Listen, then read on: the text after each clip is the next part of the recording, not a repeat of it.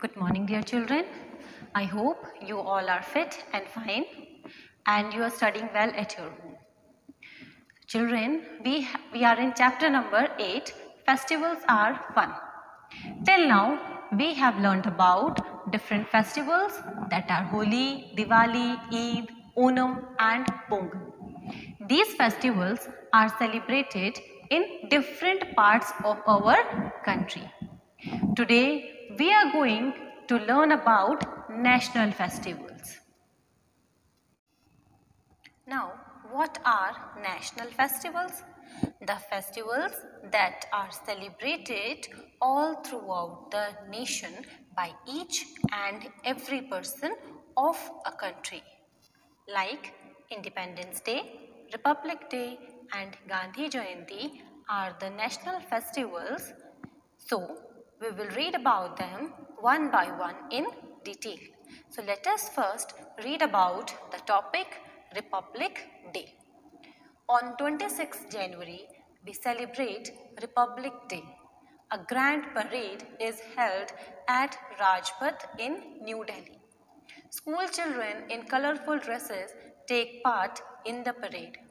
Some children are given the National Bravery Award. So Republic Day is celebrated on 26th January every year. And a grand parade at Rajpath Road is held in New Delhi. The Rajpath Road is in New Delhi. It is celebrated as national holiday in India. On this day, the Constitution of India came into effect.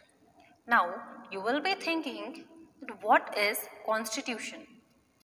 It means the basic laws or rules of a country. A country should be under certain rules and regulations for its proper development and growth. So constitution of our country came into effect on 26 January. So that is why it is celebrated on 26 January. As you can see in the picture, a grand parade is held at Rajpath Road on 26 January. At Delhi, different schools participate in the parade before President of India. The parade is held before the President of India and children with colorful dresses take part in the parade. Some children are also given the National Bravery Award Bravery Award is given to those children who show their bravery in different ways, like the children who risk their own lives to save the lives of others or who fight against some. Now, moving on to our next topic, Independence Day. So, Independence Day. We celebrate Independence Day on 15 August every year. It was on this date, many years ago, that we became free from the British rule. The main Independence Day celebrations are held at the Red Fort in New Delhi. We remember all those people who fought for the freedom of our country. Sorry, Independence Day is celebrated on 15th August every year by our country. Because on this day, we became free from British rule. The freedom fighters of our country worked hard day and night, fought many times with Britishers to make our country independent. Every year, the Prime Minister of India hoists the national flag. Hosting means Jhanda Tehrana at Red Fort, which is in New Delhi. The President of India delivers the speech to the nation. This day is observed as a national holiday.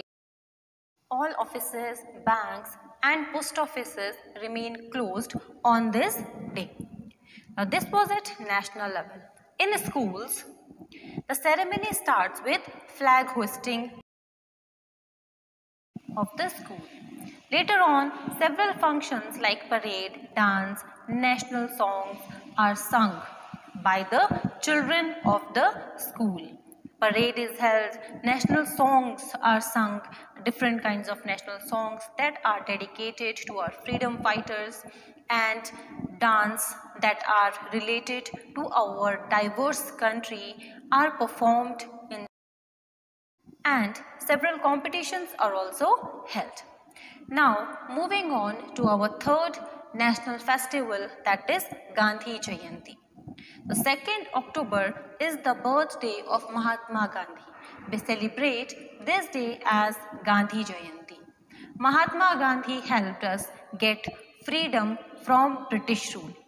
Mahatma Gandhi was also called Bapu.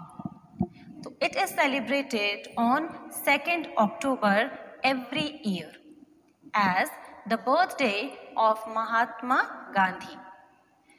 The full name of Mahatma Gandhi, Mohandas Karamchand Gandhi.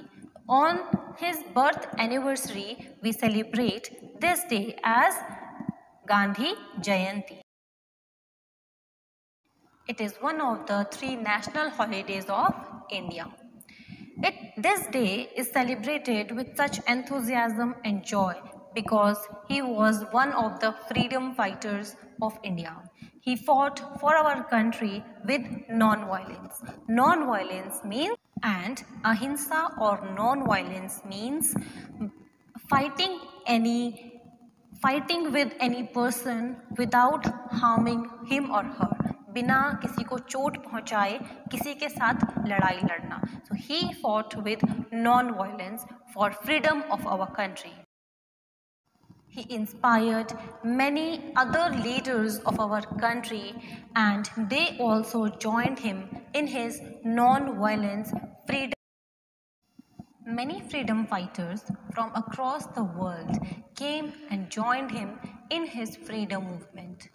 He became an inspiration for many freedom fighters who only fought with swords and weapons. He has a great role in making our country independent from the British rule. He performed Dandi March, Namak Andolan and many non-violent strikes against Britishers. To celebrate his contribution to the nation, 2nd October is celebrated every year as a national holiday. This day is also celebrated as the International Day of Non-Violence. And that is why Mahatma Gandhi was also called Bapu or the father of nation. So dear children, with this we finished our chapter Festivals are Fun. So let us revise. We learned about Holi, the festival of colors.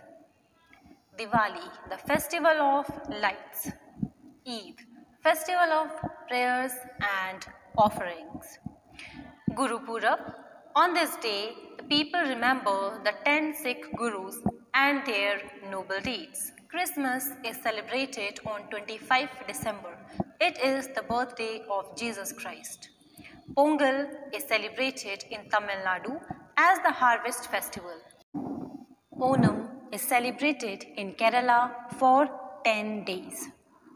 Now, Republic Day is celebrated on 26 January because on this day our constitution came into effect.